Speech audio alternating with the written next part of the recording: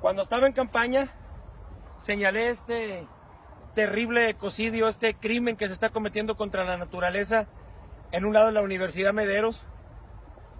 Prometí que íbamos a detener esta tremenda deforestación y ahora, el 5 de febrero del 2016, sígueme, bajo la administración del alcalde Adrián de la Garza, no nada más se está construyendo y se está deforestando como estaba, sino que se está duplicando la cantidad de terreno.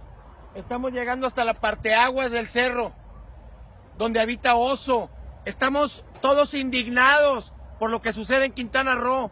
Estamos todos, vente, estamos todos volviéndonos locos por los manglares que se destruyen. Aquí mismo en Monterrey, las autoridades, el PRI y el PAN, Adrián de la Garza, Margarita Arellanes como socios, mira lo que están permitiendo.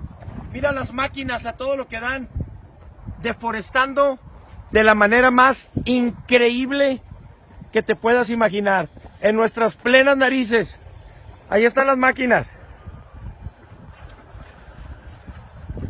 Mira lo que le están haciendo a nuestra tierra. Mira dónde está la punta del cerro.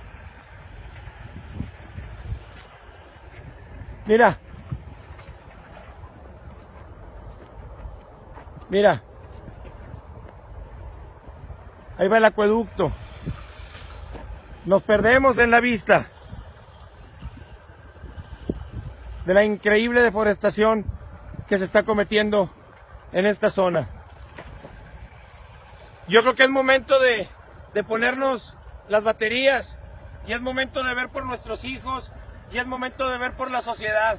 Ya no podemos permitir que se nos siga deforestando, que se nos siga robando y que se nos siga haciendo lo que, son, lo que se nos está haciendo. Allá está el Cerro de la Silla también, mira, criminalmente destrozado.